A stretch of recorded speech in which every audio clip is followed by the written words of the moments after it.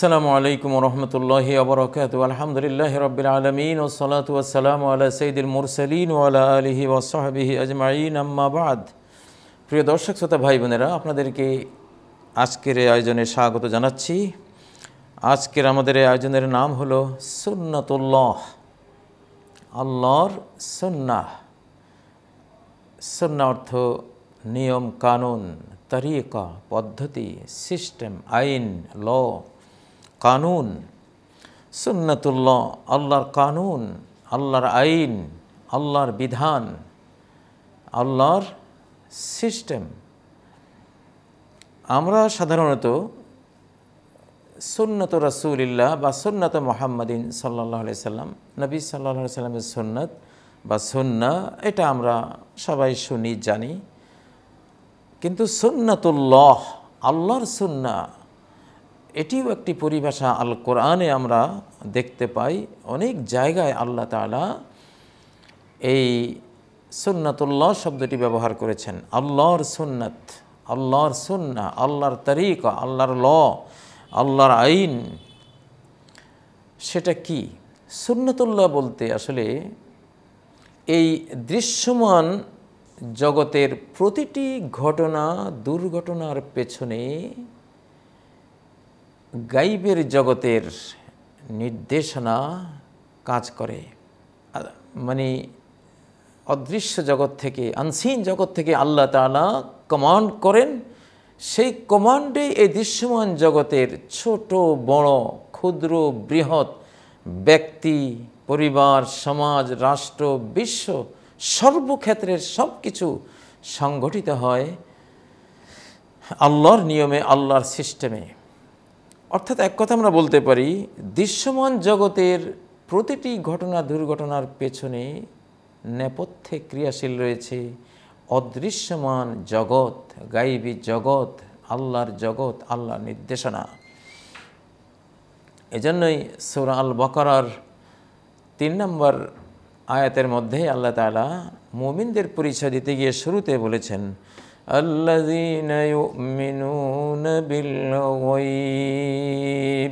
মুত্তাকিন কারা কোরআনের হেদায়েত রিসিভ করি। আল্লাহ ভীরু, আল্লাহতে আশা প্রত্যাশাকারী মানুষগুলো এরা কারা? আল্লাদিন মিনুন বিল গইব যারা আনসিন জগৎকে বিশ্বাস করে, আনসিন আল্লাহকে বিশ্বাস করে। আনসিন আল্লাহর আনসিন নির্দেশনা তার কমপ্লিট নিয়ন্ত্রণ ব্যবস্থাপনাকে যারা বিশ্বাস করে। তো এটা হলো সন্ন্যতুল্লাহ আমি আল কোরআনের তিনটি জায়গা থেকে সন্ন্যতুল্লাহ নিয়ে তিনটি আয়াত পাঠ করছি। যদিও অসংখ্য আয়াতে আল্লাহ তালা সোনান বা সন্নত সন্ন্যতুল্লাহ এটি বলেছেন। এখানে আল্লাহ তালা সুরা আল ইসরার মধ্যে বলেন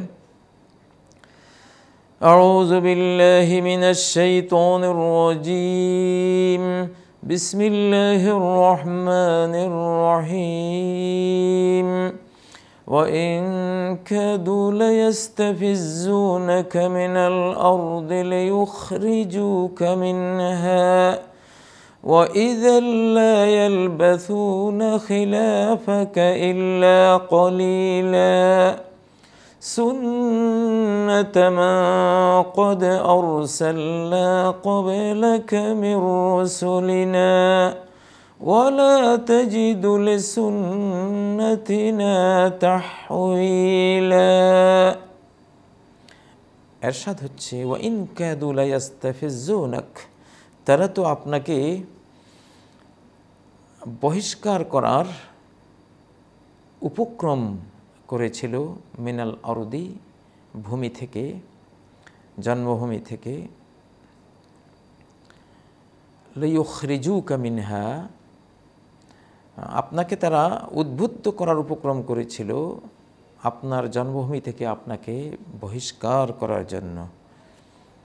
যদি আপনাকে তারা আপনার ভূমি থেকে জন্মভূমি থেকে বহিষ্কার করে আপনার জন্মভূমি থেকে আপনি একজন রাসুল আপনাকে যদি তারা আপনার জন্মভূমিতে থাকতে না দেয় তাহলে কি হবে وَإِذًا لَّا يَلْبَثُونَ خِلَافَكَ إِلَّا قَلِيلًا এমনটি করলে তারা অবস্থান করবে না আপনার পরে সামান্য সময় ছাড়া এই মক্কাভূমি থেকে আপনাকে বের করে দিলে এই মক্কাতে তারাও থাকতে পারবে না তাদেরকেও বের হয়ে যেতে হবে তারা বের করবে আপনাকে আর আল্লাহ বের করবেন তাদেরকে এটা আল্লাহর এটা কি سنة من قد أرسلنا قبلك من رسلنا সুন্না এটাই পদ্ধতি এটা আমার সুন্না আপনার পূর্বে যে রাসুলদেরকে আমি প্রেরণ করেছি, তাদের ক্ষেত্রেও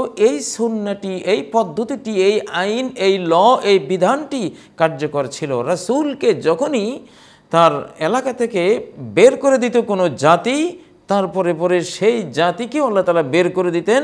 শুধু ওই এলাকা থেকে নয়, গোটা পৃথিবী থেকে বের করে দিতেন। ওয়ালা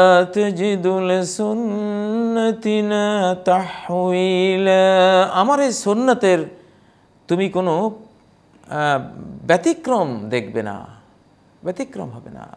এটা ঘটবেই। আসলে বস্তুত মক্কাবাসী নবী সাল্লা সাল্লামকে বের করে দিয়েছিল, হিজরত করতে তাকে বাধ্য করেছিল, তিনি হিজরত করেছিলেন। তো যে নেতৃবৃন্দ আবু জাহাল সহ যে নেতৃবৃন্দ রসুলকে বহিষ্কার করার এই কাজটি করেছিল, তাদের সত্তরের অধিক নেতৃবৃন্দ তারাও দু বছর পরে মক্কা থেকে বেরিয়ে বদরের রণাঙ্গনে তাদের যেতে হয়েছিল। আর বদর রণাঙ্গন থেকে, পৃথিবী থেকে তারা বেরিয়ে চলে যেতে হয়েছিল। রাসুলকে বের করে দেওয়ার দু বছর পরে তারাও আর মক্কায় থাকেনি, বরং তারা পৃথিবীতে থাকতে পারেনি। এটি কি আল্লাহ বলেছেন? এটি আমার সন্না আমার নিয়ম, আমার পদ্ধতি, এর কোনো ব্যতিক্রম হবে না। আরেকটি সৌরা গফরের মধ্যে আরেকটি আয়াত রয়েছে সেখানে আল্লাহ বলেন فلم يك ينفعهم إيمانهم لما رأوا بأسنا তাদের ইমান তাদেরকে কোনো উপকৃত করেনি তারা যখন আমার শাস্তি প্রত্যক্ষ করল শাস্তি যখন আল্লাহর পক্ষ থেকে এসে যায় শাস্তি দেখা যায় আক্রান্ত জাতির শাস্তি দেখে ফেলে আল্লাহর, তখন আর নিস্তার নেই। আল্লাহ বলছেন, এটি হলো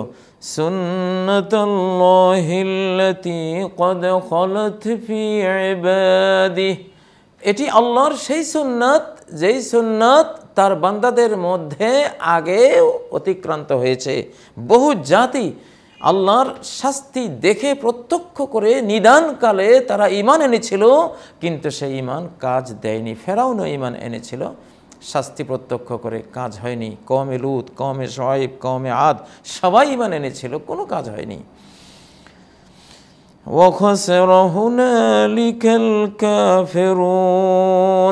আর তখন কাফির সম্প্রদায় সম্পূর্ণ ধ্বংসপ্রাপ্ত হয়েছিল।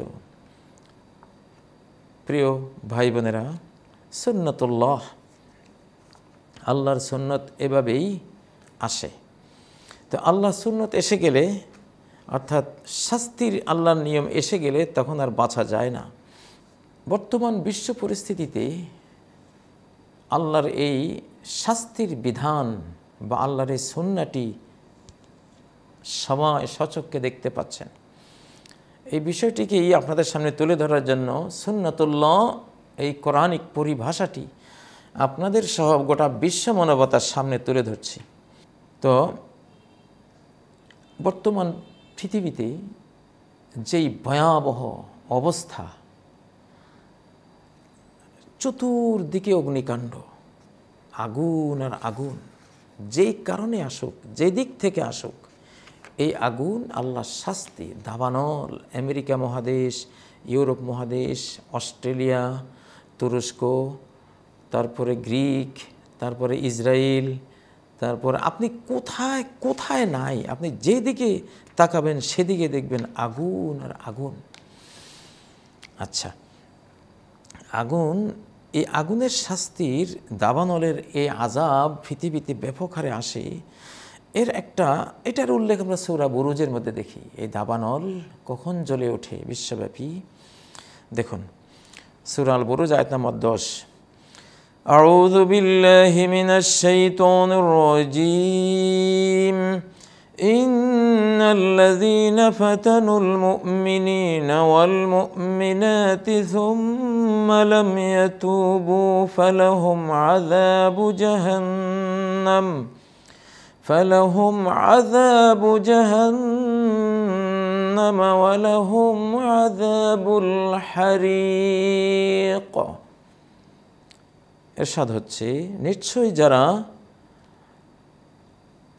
ফাতানু অগ্নি পরীক্ষায় নিক্ষেপ করেছে মমিন পুরুষ আর মমিন নারীগণকে সুম্মালাম ইয়াতুবু অতঃপর তারা ফিরে আসেনি এই অপরাধ থেকে এই ক্রাইম থেকে আল্লাহর দিকে ফিরে আসেনি। ফালাহুম আদাবু জাহান্নাম, এদের জন্য রয়েছে জাহান্নামের শাস্তি।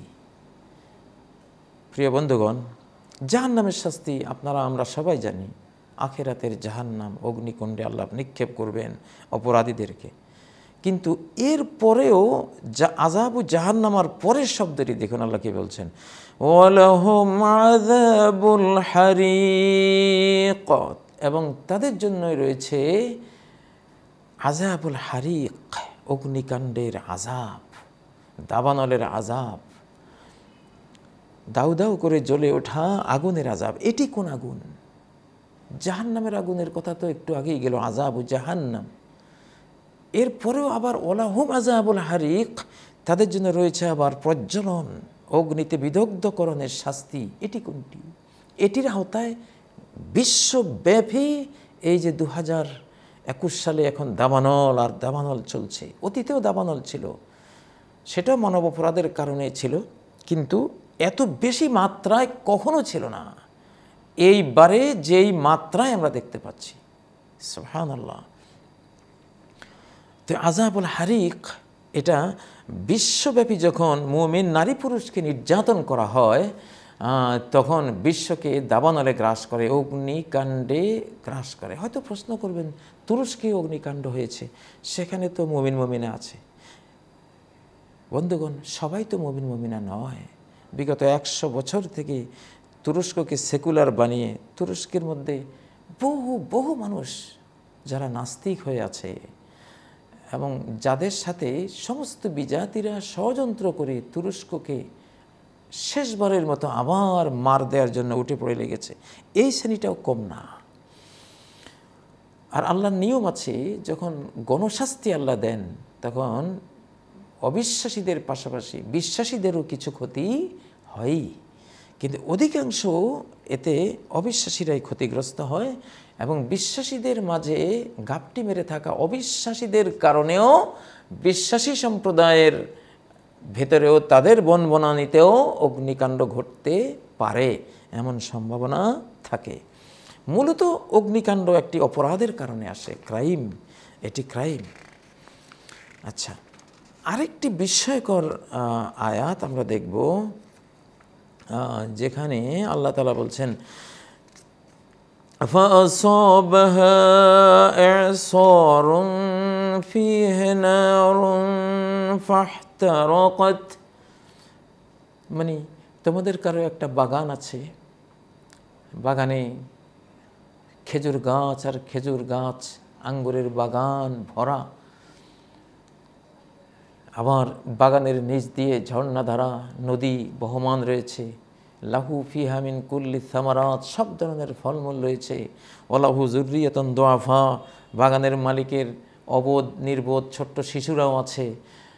মোটামুটি তার অর্থনীতির জন্য বাগানটি তার অবলম্বন সেভাবে বার্ধক্যে চলে এসছে অসাবাহুল কেবর আর শিশু বাচ্চারা আছে আমার এই বাগানে চলবে তাদের ভরণ পোষণের সব ব্যয়ভার বহন করা যাবে কিন্তু কি হলো فأصابها إعصار فيه نار فاحترقت এমন ঝঞ্ঝাবায়ু অগ্নিবায়ু আক্রমণ করল সেই বাগানকে, সেই বনাঞ্চলকে, যেই অগ্নিবায়ুতে, যেই যেই টর্নেডোতে যে ঘূর্ণাবর্তের মধ্যে নারণ আগুন রয়েছে, ফাহতারকত, গোটা বন, বনানি, বাগান জ্বলে গেল।